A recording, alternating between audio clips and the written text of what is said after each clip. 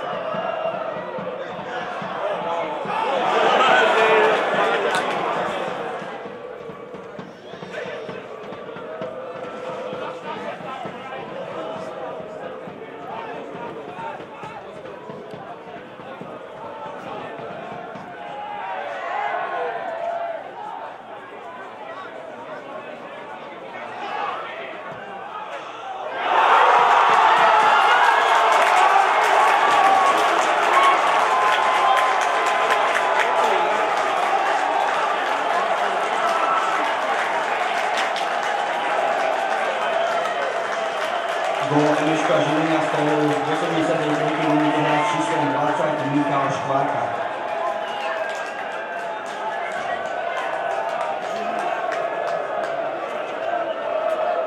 Stal sa im tiež Kafelom Bratislava, Eliška Žilina 0